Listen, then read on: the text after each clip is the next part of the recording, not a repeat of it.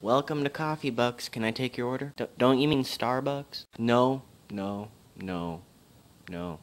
Hear that, Starbucks lawyers? No.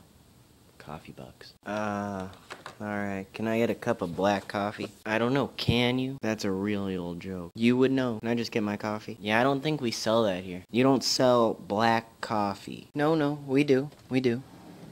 Um, what's in it? Black coffee. What's a black coffee? A regular cup of coffee. Okay, how much sugar is in it? None. Alright, how much creamer is in it? None, just a cup of black coffee. Oh, you mean black walnut swirl? No, black coffee. Okay, you mean black caramel twist. No, just pour the coffee into a cup and add whipped cream and frosting. No, pour the coffee into the cup and hand it to me. Oh, why didn't you just say so?